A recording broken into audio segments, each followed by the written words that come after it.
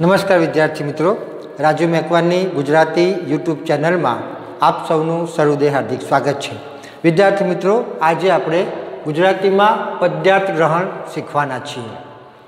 પદ્યાર્થ ગ્રહણ શીખતા પહેલાં આપણે એક બાબત ખાસ જણાવી દઉં કે જો તમે મારી યુટ્યુબ ચેનલ પર નવા આવ્યા હો, તો રાજુ મેકવાનની યુટ્યુબ ચેનલમાં આપને ધોરણ એકથી બાર ગુજરાતી વિષયને લગતા અભ્યાસ, સ્વાધ્યાય, વ્યાકરણ કાવ્ય અને પાઠની સમજૂતી પદ્યાર્થ ગ્રહણ ગદ્યાર્થ ગ્રહણ સંક્ષેપીકરણ, અર્થ વિસ્તાર, પત્ર લેખન, નિબંધ, અરજી લેખન, વાદાત્મક ગદ્ય, ભાવાત્મક ગદ્ય, કહેવતો, રૂઢિપ્રયોગો, કહેવત કથાઓ, સમાસ, છંદ, અલંકાર, ગુજરાતી વ્યાકરણનો બધો જ વીડિયો આપને મારી એકમાત્ર યુટ્યુબ ચેનલમાંથી મળી રહેશે. તમારે વિદ્યાર્થી મિત્રો, માત્ર ચેનલને સબસ્ક્રાઈબ કરવાની છે ત્યારબાદ પ્લેલિસ્ટમાં જઈ તમારે જે વીડિયો જોવો હોય ત્યાં તમે જોઈ શકશો. સંક્ષેપીકરણના લગભગ પચાસ જેટલા વીડિયો છે. પાદાત્મક ગદ્ય, ભાવાત્મક ગદ્યના ચાલીસ પિસ્તાલીસ વીડિયો મેં મૂકેલા છે. સાથે સાથે પદ્યાર્થ ગ્રહણ, ગદ્યાર્થ ગ્રહણના પણ મેં લગભગ પંચાવન જેટલા વીડિયો મૂકેલા છે.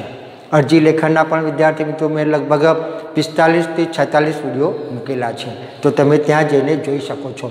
સાથે સાથે જો તમને કોઈ ગુજરાતી વ્યાકરણમાં કે ગદ્યાર્થ કે પદ્યાર્થ ગ્રહણમાં કાંઈ મુશ્કેલી હોય, તો તમે મને કોમેન્ટ કરી શકો છો. જેથી ફરી વખત જ્યારે વીડિયો બનાવું, ત્યારે એને ધ્યાનમાં લઈને બીજા વીડિયો બનાવી શકું. તો વિદ્યાર્થી મિત્રો, હવે આપણે શીખીએ આજે પદ્યાર્થ ગ્રહણ.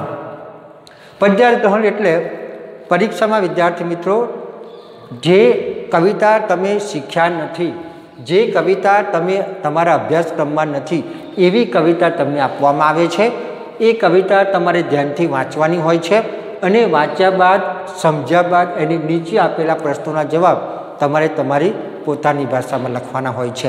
એને આપણે કહીએ છીએ પદ્યાર્થ ગ્રહણ. પદ્ય એટલે કવિતા. તો પરીક્ષામાં પ્રશ્ન આ રીતે પૂછાય છે, નીચેનું કાવ્ય વાંચી તેની નીચે આપેલા પ્રશ્નોના જવાબ લખો. હવે વિદ્યાર્થી મિત્રો, તમે જ્યારે પરીક્ષા ખંડમાં આનો જવાબ લખતા હો. ત્યારે સૌપ્રથમ તમારે કવિતા જે છે, પહેલી વખત આખી કવિતા વાંચી જવાની છે. એટલે તમને કવિતાનો ભાવાર્થ ખબર પડે. પછી તમે બીજી વખત કવિતા વાંચો એટલે તમને કવિતામાં સર્જકે કઈ ઊંડી બાબતો છુપાયેલી છે એ તમને ખ્યાલ આવે.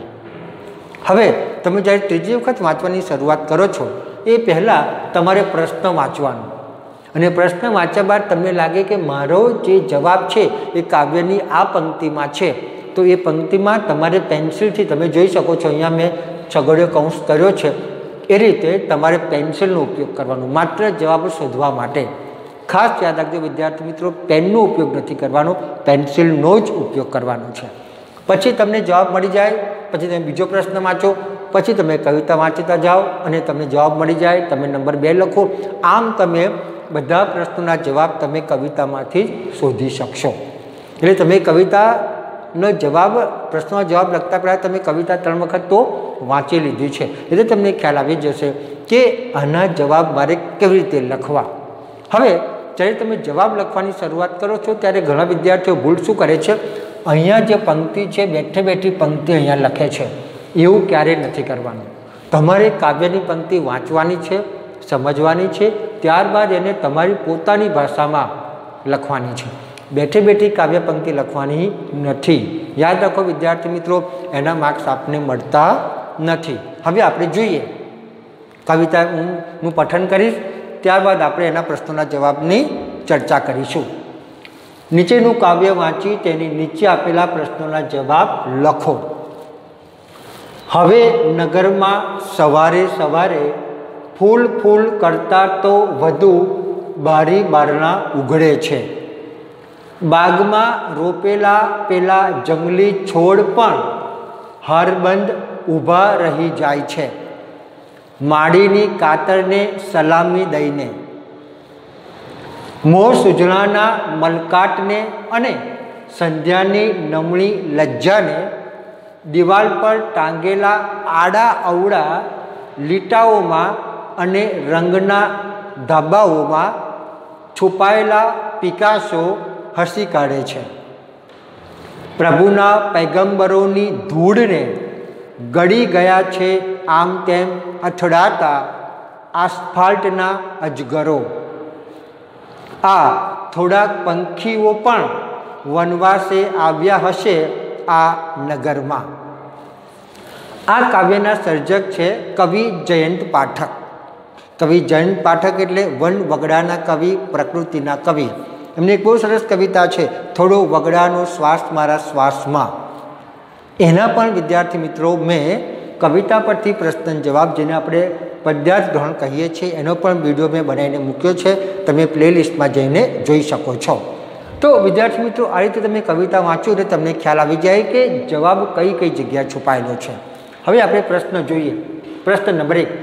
સવારે ખીલતા ફૂલોનું સ્થાન નગરમાં કોણે લીધું છે? તેનો જવાબ અહીંયા છે. હવે નગરમાં સવારે સવારે ફૂલ ફૂલ કરતા તો વધુ બારી બારણા ઉઘડે છે. આ જવાબ છે. બરાબર? ફરી તમને યાદ કરાવી દઉં કે કેટલાક લોકો આનું કાવ્ય પંક્તિ જ બેઠે બેઠી લખે છે, આપણે લખવાની નથી. આપણે કાવ્ય પંક્તિ વાંચીએ છીએ, સમજીએ છીએ, ત્યારબાદ એને પોતાની ભાષામાં લખીએ છીએ. તો જવાબ રીતે લખી શકાય કવિ જૈન પાઠક કહે છે કે, હવે નગરોમાં સવારના પહોરમાં, ઘરના આંગણે કે બગીચામાં ફૂલો ખીલવાની કે ઉઘડવાની ક્રિયા થતી હતી.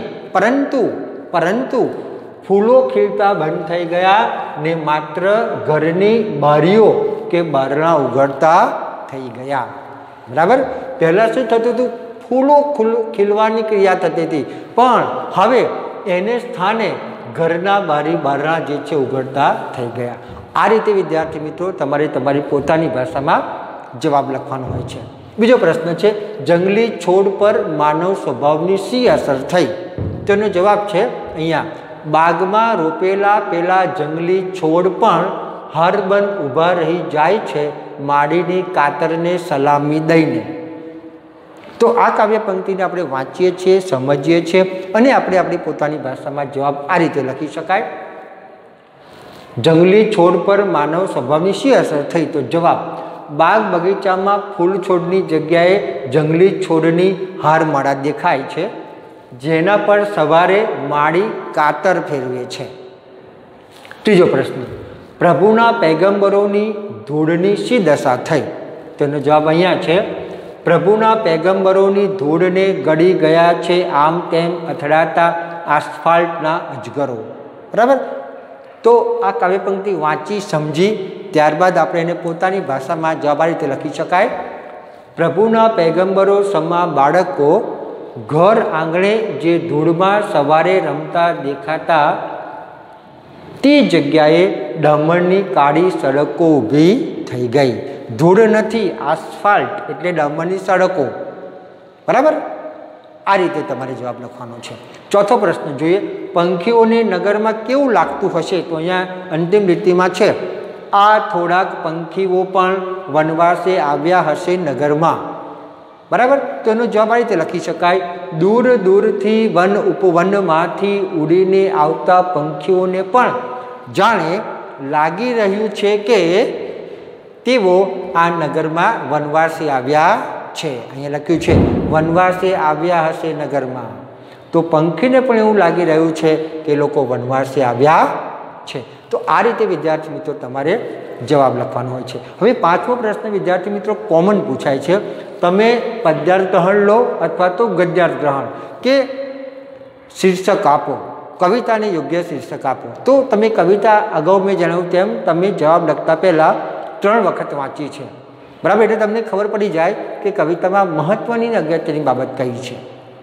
બીજું કે તમે જ્યારે કાવ્યનું શીર્ષક પસંદ કરો ત્યારે કવિતાના શબ્દોનો ઉપયોગ કરીને જ તમારે શીર્ષક પસંદ કરવાનું છે. તો કવિતા જોતાં આપણને લાગે છે કે આમાં વન વનવાસ એ નગરમાં કેવો હોય એની વાત કરવામાં આવી છે. તો વનવાસ એ નગરમાં આ શીર્ષક આપી શકાય અથવા તો નગરમાં પરોઢ એમ. નગરમાં કેવી સ્થિતિ છે પ્રકૃતિની? નગરમાં પ્રકૃતિની કેવી સ્થિતિ છે? એની વાત સર્જકે કરી છે. એટલે અહીંયા શીર્ષક આપણે આપી શકીએ. બંને શીર્ષક સાચા છે. તમે કોઈ પણ શીર્ષક લખી શકો. વનવાસી નગરમાં એમ. અથવા તો નગરમાં પરોળે. નગર કેવું હોય છે? શહેર કેવું હોય છે? અને શહેરમાં પ્રકૃતિની વાત કેવી રીતે સર્જક કરે છે? એની વાત આપણી કવિતામાં જોવા મળે છે. એને સંદર્ભમાં આપણે આ બે શીર્ષક આપી શકીએ. વનવાસે નગરમાં અથવા તો નગરમાં પરોળે. તો વિદ્યાર્થી મિત્રો, આ રીતે તમારે જવાબ લખવાનો છે. એક વસ્તુ ખાસ યાદ રાખજો વિદ્યાર્થી મિત્રો, કે તમારે પરીક્ષામાં પદ્યાત ગ્રહણનો પ્રશ્નનો જવાબ છોડવાનો નથી. ફરજિયાત લખવાનો છે. એકદમ સરળ છે. તમને કવિતા આપી હોય અને એની એ વાંચીને તમારે સમજી અને તમારી પોતાની ભાષામાં જવાબ લખવાના છે. જવાબ લખો ત્યારે ચેકચા કર્યા વગર, જોડણીની ભૂલ કર્યા વગર, સ્વચ્છ અક્ષરે વાંચી શકાય રીતે તમે જવાબ લખો, તો માનું છું કે તમને પૂરેપૂરા માર્ક્સ મળે. તો વિદ્યાર્થી મિત્રો, અહીંયા મારો વીડિયો પૂરો કરતાં પહેલાં આપણે ફરી જણાવી દઉં કે જો તમે મારી યુટ્યુબ ચેનલ પર નવા આવ્યા હો, તો રાજુ મેકવાની યુટ્યુબ ચેનલમાં આપણે ધોરણ એકથી બાર ગુજરાતી વિષયને લગતા અભ્યાસ, સ્વાધ્યાય, વ્યાકરણ કાવ્ય અને પાઠની સમજૂતી ગદ્યાર્થ ગ્રહણ પદ્યાર્થ ગ્રહણ અર્થ વિસ્તાર સંક્ષેપીકરણ, વાદાત્મક ગદ્ય, ભાવાત્મક ગદ્ય, અરજી લેખન, નિબંધો, કહેવત કથાઓ, સમાસ, છંદ, અલંકાર, કહેવતો, રૂઢિપ્રયોગો, આ બધા જ વીડિયો આપણે મારી એકમાત્ર યુટ્યુબ ચેનલમાંથી મળી રહેશે.